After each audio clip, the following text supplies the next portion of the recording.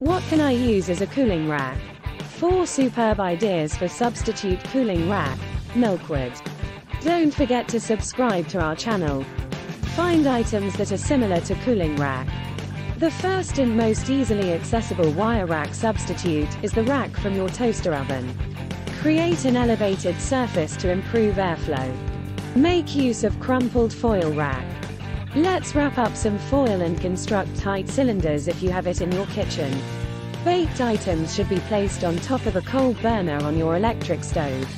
Let's utilize one of your electric stove's cool burners.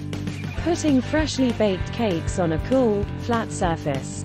Granite chopping boards also make excellent flat surfaces for cooling baked goods since they remain cold at all times. Make your own cooling rack. The first method is to use muffin pans and cardboard egg trays to build a homemade frying rack.